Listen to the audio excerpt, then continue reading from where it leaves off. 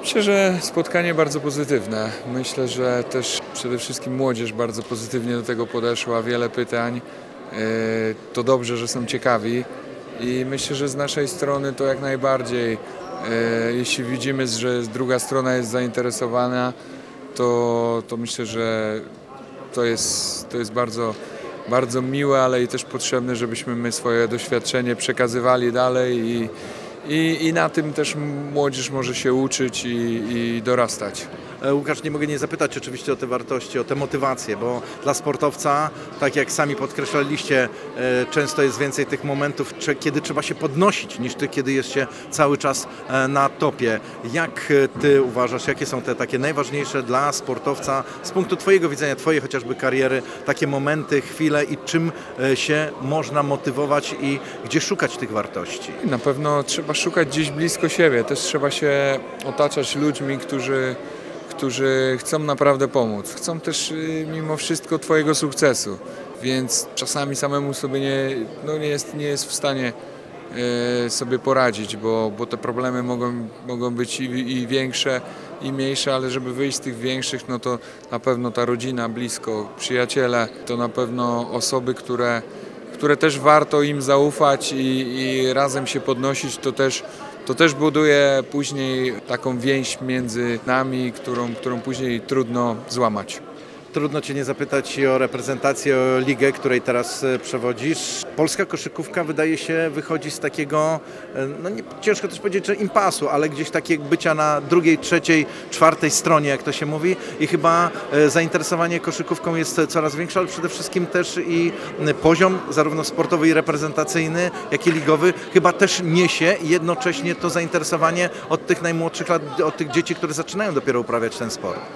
No tak, myślę, że ostatnie lata to naprawdę bardzo dobre lata koszyk- koszykówki. E, nasza reprezentacja Polski 5 na 5, naprawdę wspaniałe sukcesy, chociażby na Mistrzostwach Europy ostatnich, więc dalej jesteśmy w grze o, o igrzyska.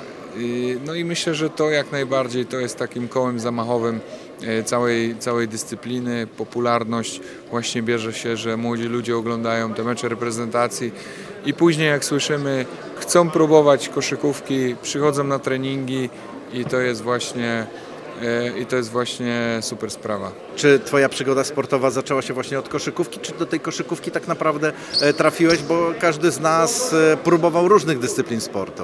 No tak, koszykówka gdzieś zawsze była, natomiast też była i piłka nożna i, i próbowałem e, siatkówki, tenisa, więc dużo, dużo prób było w koszykówce. Najlepiej mi wychodziło, więc ten wybór był e, najprostszy i, i, i w zasadzie reszta, reszta potoczyła się tak, jakbym sobie po prostu wymarzył. No to e, w takim przypadku, jak każdy młody chłopak, każdy marzył o swoich bohaterach. Czy byli ci koszykarscy idole zarówno po polscy, jak i zagraniczni? Oj tak, byli, byli koszykarscy zagraniczni, byli, byli również i polscy, ale myślę, że dla, ma, dla mnie jako takiego chłopaka z małej miejscowości. To była fajna sprawa, że przychodziłem na mecze trzeciej ligi we wrześniu i tam też miałem swoich bohaterów, ty, ci, którzy, którzy może nie byli e, tak często w telewizji, ale pod moim okiem i, i dla mnie to, było, to była super sprawa obserwowania e, tych meczów na takim poziomie seniorskim i dla mnie to taka była pierwsza motywacja, że chciałbym kiedyś zagrać, chociażby w trzeciej lidze. Ale te wzorce nam wymienisz z nazwisk, na których Ty się jakby wzorowałeś jako sportowiec? Na pewno tych, no to Michael Jordan, to jest myślę, że to jest ta moja generacja, gdzie, gdzie zarywaliśmy nocę, żeby tylko oglądać te mecze i, i ten sportowiec akurat no miał wszystko, co, to, co, to, co, to, co no, najlepsi sportowcy powinni mieć.